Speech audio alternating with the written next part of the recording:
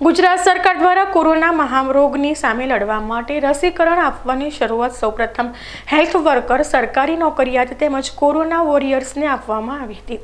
ત્યારબાદ પહેલી માર્ચથી બીજા રાઉન્ડમાં પિસ્તાલીસથી સાઠ વર્ષના બીપી, ડાયાબિટીસ જેવી બીમારીથી પીડાતા વ્યક્તિઓને તેમજ સાઠ વર્ષથી વધુ ઉંમરની વ્યક્તિઓને રસી આપવામાં આવી રહી છે. બનાસકાંઠામાં બે લાખ સાત હજાર વ્યક્તિઓને રસી આપવાની છે. તેના અનુસંધાને આજ સુધી પચાસ હજારથી વધુ વ્યક્તિઓને રસી આપી દેવામાં આવી છે.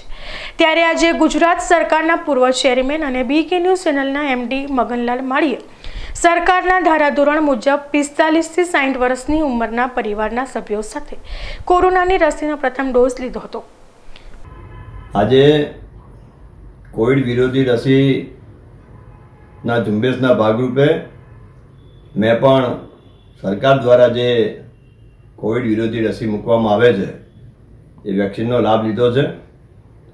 આપને પણ સરકારની ગાઈડલાઈન પ્રમાણે પિસ્તાલીસથી સાઠ વર્ષના લોકોને રસી આપવાનું કામ જ્યારે ચાલે છે ત્યારે આપ પણ સૌ નજીકના અર્બન સેન્ટરમાં કે પીએચસી સેન્ટરમાં જઈ અને કોવિડ વિરોધી રસી લઈએ. કેમ કે આ દેશમાંથી હજી કોરોના ગયો નથી. આપણી સુરક્ષા માટે, આપણા પરિવારની સુરક્ષા માટે આપણે સૌ જાગૃત બનીને સરકારની આ યોજનાનો પૂરો લાભ લઈએ એવી મારી વિનંતી છે.